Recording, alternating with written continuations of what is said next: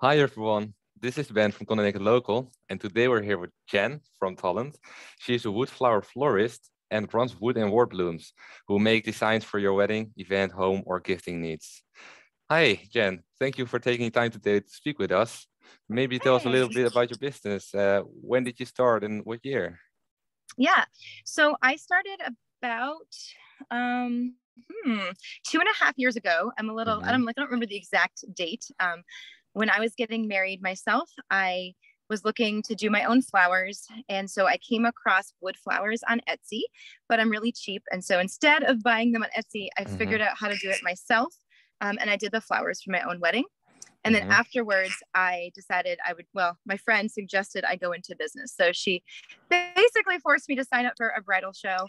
Um, and I made a bunch of samples and I went mm-hmm. to that bridal show. And from that day on, it just kind of, it just kind of happened. I'm actually a teacher is mm-hmm. my my like the job I do during the day, but I am a sort of a florist at night. Mm-hmm. And the best part about the wood flowers is like I don't need like i don't need refrigerators i don't need water because they're not living so uh-huh. i can create them in advance um, on my own time so i can craft at midnight if i want to uh-huh. and um, create pretty much anything that a real florist might but just with wood flowers ah so you're a really creative person then yes ah okay and so is it for everyone in connecticut or is it only for the local area in hartford um, do you send it to people as well yeah. So I definitely I like to stay local to Connecticut or like I'm near Massachusetts. So I do love my local people and that's where my biggest mm-hmm. push is. I like to work with people that I can talk to and meet in person. But I do ship my products all over. So someone can uh-huh. someone from anywhere can order it and I can ship it um, or a lot of local people will send it um, they'll order a bouquet or an arrangement for grandma especially with covid because people haven't been able to see relatives so they've yeah. been ordering a lot of gifts um, but I've, but i've even shipped big weddings across the country i mean it's, it's a lot of money to ship but if people want to pay for it i'm mm-hmm. so but i would say most of my work is very local to to this area but i would say all over connecticut not just um not just uh-huh. hartford or. Mm-hmm, mm-hmm. and uh, can people also come to you to uh, come and get it or do you only ship it um no i do a little bit of both so i do ship a lot but for locals i do we schedule a pickup because uh-huh. i am uh-huh. a home-based business so we schedule a time to meet and for them to pick up their flowers Mm-hmm. Okay, and it's nice to avoid shipping if you can, just because it is somewhat breakable if you were to like have a box yeah. get squished. So I think people do like to pick it up when they can. Oh, that makes sense. Yeah, and um, what what then are like the types of you know uh, flowers that you create? Like, what is the most popular type of thing that people Ooh. want? That's a really tough question. And of course, I'm in my car, so I can't just like whip out samples and show mm-hmm. you. Um, but I would say that um, one, people really love dahlias and roses. Mm-hmm. Sunflowers, I actually are one of the harder ones to create out of the wood just because it's very delicate the way the petals are. Um, what else is really popular? Oh, peonies are another one, and hydrangeas. So, like, here, this is my, I can show mm-hmm. you my mm-hmm. card. So you oh, can yeah. see, like, um, you can get, they, I mean, you can tell they're not real, but at the same time, they look pretty real and so uh-huh. the fun is in really getting to like paint them uh-huh. and um so like they come as an ivory color naturally and so then it's i get to get out my airbrush and my paint brushes and just really create a look with them by adding in different like layers of color which is super fun mm-hmm. um yeah so you get it's kind of like i'm half artist half florist uh-huh heart crafter i'm a little a little bit of everything mm-hmm. mm-hmm. and so yeah like one of the benefits of these flowers is that they never die, right? Like they never rot. So you have permanent flowers in that way. Yeah, I mean, especially for like weddings, because people will often want to have something as a keepsake, and mm-hmm. you have to pay extra money to preserve your flowers. Or I have a bride, mm. she just messaged me the other day she tried to preserve her own flowers and then she sent me a photo and it was just like a moldy mess it didn't really work so i'm recreating um, the flowers for her to create something with out of wood mm-hmm. um, so it's nice so one is like they don't like you save money because you're not going to have to pay preservation fees you also you know you i would say like they cost similar maybe a little bit less than the mm-hmm. real flowers depending on the type of flower but like you get economy out of them. So if you have your centerpieces done, it's nice because you can gift those to your family and to your friends. Um, and what else? Also, just like you'll have them for years to come. So if you ever did, you know, get married again 20 years later, like mm-hmm. and have like a, a, re- a, vow renewal, you could use your same bouquet. Uh-huh. Um, and I've seen brides have kids and then they take their bouquets and they like use them in the photo shoot with their newborn baby girl. Mm-hmm. Um, so there's like a lot of creative ways to to keep them as part of your life, which is fun. Yeah, that definitely sounds fun, and it yeah also for a wedding, you know, it's a good memory to have, right? Yeah. Mm-hmm. And for anybody too, because even if you buy someone, you know, I don't know, if you're like me, I kill flowers. Like real flowers do not last long. I just had some, I bought some mums like at, in October and I killed them. Like I had one, one mom, one single mom left on the whole bush, and that was it. So if you are have friends who kill flowers, who are busy people who travel a lot and don't have time to water their flowers, mm-hmm. it's a really great mm-hmm. option. Like you can give them flowers, but without giving them something that they're going to kill or that might cause stress. Or if they have allergies, there's nothing to be allergic to, like with real flowers. Uh-huh. Um, which is also nice. And if you miss the smell, because it's made out of like a porous substance, you can actually scent them with essential oils or fragrance oils. So you can still have a smell. Uh-huh. So they uh-huh. can kind of smell like a rose if you want it to be a rose. Um, or it can smell, you know, like vanilla if you just like the smell of vanilla. You know, you get sort of that option, whatever you want. Mm-hmm. Oh, okay. So it's also something you can put into restaurants, hotels, you know, uh, yeah, these types of places. So it's a really great option because like obviously a lot of hotels and restaurants use silk flowers and some silk flowers are gorgeous if you pay money for the expensive ones, but a lot of them are cheap and inexpensive and they look that way. So mm-hmm, it's kind mm-hmm. of a cool way to like have flowers that will last that you could use, you know, for a long period of time, but that maybe are a little bit nicer. Also, they're eco-friendly. So if you think about like a silk flower, you know, it took a like that's not a natural product and so it takes machines to make that mm-hmm. and it, mm-hmm. that adds a lot of a carbon footprint to the world yeah. whereas like the um, these flowers are handmade with a um, biodegradable you know material that's natural so there's something nice about that too if you're just kind of into the eco-friendly aspect of it to use so yeah restaurants hotels anything like that can really have these flowers for a long period of time. If you do like corporate events, and let's say you have a Christmas party every year, well, like once COVID's over and you go back to having mm-hmm. parties, mm-hmm. you know, you could reuse your centerpieces every year, or as a as an appreciation, raffle them off to your, um, you know, your employees or whatever too. And I also oh, do yeah. so. Besides even just doing like gifting flowers, like creating them, I also do DIY parties. So, like right now at the holidays, I've been doing a lot of home parties and parties at breweries and wineries where you get to create your own wreath or create your own centerpiece for like your holiday table. Um, so I go to mm-hmm. you or you or go to that uh, venue, and it's just like a fun night out. And so instead of creating uh-huh. with fresh flowers, you do it with the wood flowers. Uh, wow! So I didn't know there were so many benefits of having these wood flowers over real flowers. Right? I know. That's there's a, there's a lot. My husband would tell you there's not so many benefits because it's taken over the house and now he's he's like lost his workout area. he's like surrounded by flowers and paint. But for the rest of the world, there's a lot of benefits. Mm-hmm. Okay, and then then the next question: What have been some of your biggest challenges along your entrepreneurial journey, and what lessons did you learn from them doing this? Oh, that's a good one. So the first is you should have a business plan when you start a business. Mm-hmm. that sounds so simple.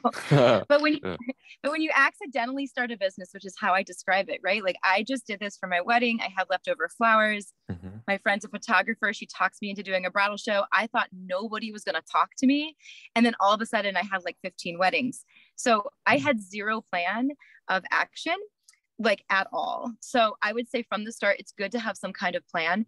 It's uh-huh. also good to really take charge of like the financial stuff, especially if you're like a handmade craft business. There's a lot to know on the back end about sales and use tax, about like you know what can be taxed what's not taxed um, how you handle inventory so there's like a lot of things on the back business end like i would i'm more of like the creative person so that for me was a lot to learn um, and then I think also just being like a mom and a teacher and a mm-hmm. florist, I think it's important to not get caught up in your business so much so that you like lose sight of everything else. So finding that like balance is is really important. Mm-hmm. Always look for the balance, right? Yeah, you got to carve out time for the things that are important because there's always going to be someone who calls me up and is like, if I and I say no, and they will try to be like, but can't you just make this for me? And I'm like, no, I don't have time, and they will. Mm-hmm. Keep trying so you have to be really firm because i know money talks right and we all think we just want like get another order but sometimes it's not worth it when it comes at the sake of like your health or your family mm-hmm. so mm-hmm. just always keeping the other stuff in mind is important mm-hmm. so yeah uh, if you were to start over you would do these things better uh, yes, especially the business plan, that one. Yeah. And yeah, and, I'm, and I've gotten a lot better about all the other things along the way. So. Okay. And then the next question is where do you want, where do you envision yourself to be in six to 12 months from now? Woo! so six to 12 months. Six months, well, six months, I'm still, it's still the school year. School year's not over. So mm-hmm. I'm going to be pretty much it's hard to grow my business a lot during the school year because mm-hmm. I'm still mm-hmm. teaching and working. Um, so I'm, I feel like I'm always doggy paddling a little bit during the school year. But in like 12 months, a year from now, I, I really plan to actually have brought on some employees um, to have hired out. Um, like, you know, for some of the tasks that I feel like are my least favorite tasks, I want to hire out um, and contract someone to do some of like the back end kind of things to help uh-huh. keep track of emails and and do some things that you know customer service stuff that other people could do versus me. Mm-hmm. I think mm-hmm. when you first start a business, you want to do it all. Yeah, yeah. Then you learn sense. once you grow, you learn you can't you can't really do it all. so, so you want to de- delegate more. Yeah, I'm a terrible delegator. I'm awful. I, I also direct the musical at my school and and the students will tell you I'm also a terrible delegator then. I just want to I just like control of it all, but it's at some point you have to for your own sanity. Um, find the right people and and train them well and so that's what i hope to have in a year from now is some people kind of trained to do some of the tasks that i think i can let go of mm-hmm, mm-hmm. yeah interesting and uh, yeah it's, it's, you know it, sometimes it also takes a while before you really start breaking through uh, right like you, you yeah. started two years ago and maybe it takes a few years before you really start delegating and hiring people but once yeah. you do that's great yes mm-hmm. i'm getting there i mean right now it's just my mom i mean she doesn't count but she counts so she's in my practice and training somebody mm-hmm. okay then the final question um All like right what's the main way that you you know um, you know shared what you do and how you bring in more customers and get people to talk about you? Is it yeah word okay. of mouth? So there, so I it depends on what it is, but that's a lot of word of mouth. I think from right early on, I started off with an email list, and when I mm-hmm. would do events like craft classes or bridal shows, I was always running some kind of contest or thing to get people to basically willingly sign up for my email list. Um, so, you know, in mm-hmm. a couple years of business, for me, I feel like I have a pretty strong email list about a 1000 uh-huh. people that don't oh. drop off. I, do, I don't lose a lot of people. So they've stayed with me. Um, and so that email, email marketing is not dead by any means. No. Um, then my, my Instagram game for sure brings in a lot. I, I'm not as good on Facebook. Like it depends, I guess. For like weddings, I feel like Instagram, I put a lot of energy into Instagram yeah. and, because that's where the younger people are. Uh-huh. And then uh, for the craft classes, I I do more on Facebook. I, I mean both. I advertise in both places, but like mm-hmm. I will use my Facebook page, and I'm trying to get better at doing a Facebook group, um, mm-hmm. just because my older people, like I'm like in my 40s, so like my age on up, they're kind of more on Facebook. Yeah. Um, and my and and like the older like i would say 50s people women in their 50s and 60s love my craft classes. Mm-hmm. so like they're definitely more on facebook like my mom's age. My mom does not have instagram she didn't even know what i'm talking about when i say instagram. What is instagram so i, do, I kind of yeah that's it right? I, but i remember when i said i would never be on instagram too and then here i am. It's just that like mm-hmm. i like it because for flowers are very visual. And so for me instagram is like a quick portfolio of my work. Yeah. And so i feel instagram is like integral um and then like even with the reels it's just so easy to go and like create a reel if i'm making something i can just show the steps of me making it to fun songs and everyone will watch it mm-hmm. so I, I do a lot of social media for sure um, and then facebook but a lot of it's also just local word of mouth so if i have a bride uh, I get a lot of referrals from those brides. Um, I, you know, um, an aunt might come to my craft class and then give the card to somebody else. So it's a lot of like very connect like interconnectedness and i just mm-hmm. i don't push i don't i'm not on etsy a lot of handmade businesses are on etsy i just i don't do etsy i don't need to i have my own website uh-huh. and i just have built local and local has built out from there so people find me through friend family through friends and so i do get orders from far away but mostly i would say connecticut and mm-hmm. i just like it mm-hmm. that way i like staying local i like yeah. not needing needing to go like and try to advertise far away because local advertisement is often very free mm-hmm. and a mm-hmm. lot easier than than advertising somewhere else. And there's a lot of other people who do what i do. So like yeah. i don't want to take away you know if there's someone in wisconsin who does this like she should get her local people. Like i don't need her people. I have mine mm-hmm. here in connecticut. Yeah that's right. Yeah. Yeah. Okay. So um, if people want to find you what is your website? Where can they find you? Yeah. Okay. So my website is www.woodandwordblooms.com, mm-hmm. all spelled out, um, or on Facebook or Instagram at woodandwordblooms.com. Or not .com, just at woodandwordblooms. Blooms. Mm-hmm. And then, so you can find me there. You can find me pretty much all over. I pop up on my Instagram. You'll see this face all the time just mm-hmm. showing sharing you random things that I'm doing. Um, but my website is has a shop on it. So actually mm-hmm. next week, like this coming weekend, the I don't know what date is of this weekend, but whatever the date is this Saturday, I'll be launching my winter line.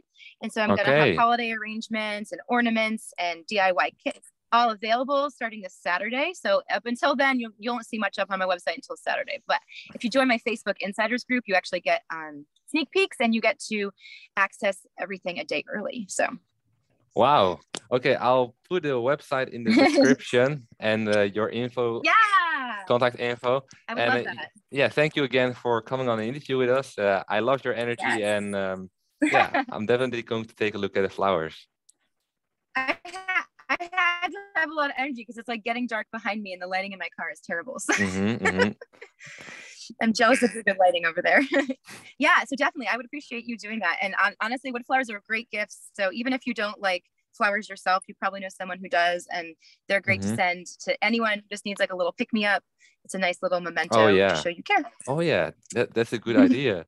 wow. Okay. Well, thank you, and uh, have a great day. Yeah. I'll talk to you soon. Thank you so you. much. I appreciate it. Yeah, bye-bye. Bye.